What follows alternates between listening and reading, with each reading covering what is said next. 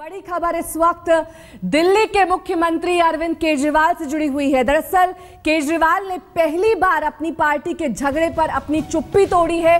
केजरीवाल ने ट्वीट करके ये कहा है कि पार्टी के झगड़े से मैं बेहद दुखी हूँ, आहत हूँ और ये दिल्ली के लोगों के साथ धोखा है। पहली बार केजरीवाल जो आंतरिक कलह चल रही है पार्टी की, उस पर बोले हैं। ट्वीट करके उन्होंने कहा है कि दिल्ली के भरोसे के साथ धोखा हुआ है। दरअसल आम आदमी पार्टी इस वक्त दो खेमों में बट चुकी है। आंतरिक झगड़े की वजह से आम आदमी पार्टी के नेता और दिल्ली के मुख्यमंत्री अरविंद केजरीवाल दुखी है। मैं सिर्फ़ दिल्ली के गवर्नेंस पर ध्यान दूँगा, ये कहना है अरविंद केजरीवाल का। ट्वीट करके अरविंद केजरीवाल ने यह कहा है कि जो आंतरिक कलह है, उससे वो बेहद दुखी है। झगड़े से बेहद दुखी हूँ, केजरीवाल का यह कहना है। इससे पहले आम आदमी पार्टी के नेता आशुतोष ने भी ट्वीट करके ये कहा था। आपको दिखा देते हैं कि अरविंद केजरीवाल ने क्या कुछ ट्वीट किया है। झगड़े में आने से मैं इनकार करता हूँ। मैं सिर्फ़ दिल्ली के गवर्नेंस पर ध्यान दूँगा। साथ ही जनता के भरोसे को किसी भी हालत में टूटने नहीं दूँगा। पार्टी में जो भी चल रहा है, मैं उससे बेहद दुखी हूँ। ये दिल्ली के भरोसे के साथ धोखा है। इस झगड़े में आने से मैं इनकार करता हूँ। सिर्फ़ दिल्ली की गवर्नेंस पर ध्यान दूँगा। और साथ ही दिल्ली के जनता के भरोसे को टूटने नहीं दूँगा। भरोसे को किसी भी हालत में टूटने नहीं दूँगा। ये ट्वीट करके आम आदमी पार्टी के नेता, मुखिया और साथ ही दिल्ली के मुख्यमंत्री अरविंद केजरीवाल ने कहा है। पूरे मामले पर क्या कुछ कहना है? कुछ देर पहले उन्होंने ट्वीट किया। ट्वीट में क्या कुछ लिखा, वो भी हम आपको दिखाएँगे, लेकिन उनका क्या कुछ कहना है, ये सुनिए। प्रशांत जी पार्टी के वरिष्ठ नेता हैं, सम्मानित सदस्य हैं फाउंडर मेंबर हैं। लेकिन मुझे लगता है कि उनको इस तरीके की बातें पब्लिक में नहीं करनी चाहिए थी।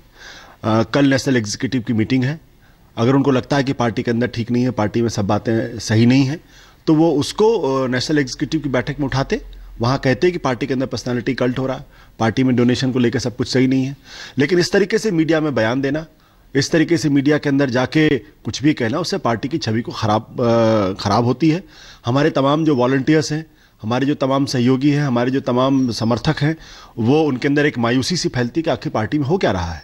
आ, तो मुझे थोड़ा सी थोड़ा अफसोस हुआ जिस तरीके से उन्होंने मीडिया में जाके उन्होंने इंटरव्यूज़ दिए हैं और जिस तरीके से उन्होंने पार्टी पर टिप्पणी की है क्योंकि मीडिया वो फोरम नहीं है जहाँ पर आप इन मसलों को उठाएँ।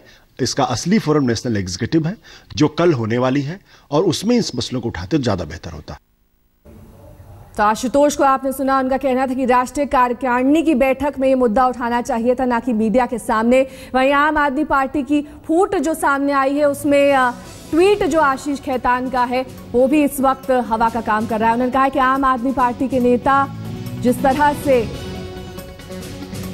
आपसी विवाद में उलझ गए हैं, पिता, बेटे और बेटे की राजनीति चल रही है, पार्टी के हर विंग में पॉलिसी कमेटी पर उनका शिकंजा हो, यानी कि परिवारवाद का आरोप आशीष खेतान लगा रहे हैं। प्रशांत भूषण, शांति भूषण और उनकी बेटी शालिनी भूषण पर आपको एक परिवार की पार्टी बनाना चाहते हैं ये तीनों। पंकज जैन हमारे संवाददाता इस वक्त हमारे साथ जुड़ गए हैं फ़ोन लाइन पर। पंकज, ज़ाहिर तौर पर इस वक्त आम आदमी पार्टी की कलह सबके सामने है। दो खेमे में बच चुकी है ये पार्टी। कल यानी कि 4 मार्च को राष्ट्रीय कार्यकारिणी की बैठक होने वाली है। क्या प्रशांत भूषण और साथ ही योगेंद्र यादव पर फैसला लिया जा सकता है? उनके खिलाफ कार्रवाई की जा सकती है।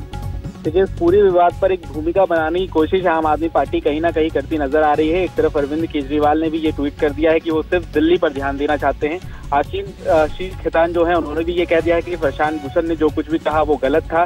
तो अब पहले से जो बात चली आ रही थी कि प्रशांत भूषण और योगेंद्र यादव को पीएसी से बाहर कर दिया जाएगा, वो न कहीं ना कहीं झलक आम आदमी पार्टी दिखा चुकी है और दो खेमे जो बट गए थे उसमें से एक खेमा जो प्रशांत भूषण और योगेंद्र यादव का है उनके ऊपर गाज गिरनी लगभग आप तय ही समझिए। तो कल नेशनल एग्जीक्यूटिव की मीटिंग होगी चार तारीख को आ, करीब दो बजे के लगभग आसपास ये शुरू हो जाएगी मीटिंग और उसके बाद ये फैसला किया जाएगा कि किस तरह से आ, जो तमाम काम हुए हैं पार्टी के अंतर्गत गलत जो सवाल खड़े किए थे इन दोनों ही नेताओं ने उनको किस तरह से आगे लेकर जाना है। हो सकता है नई जिम्मेदारियों के बहाने इनको पीएससी से बाहर कर दिया जाए।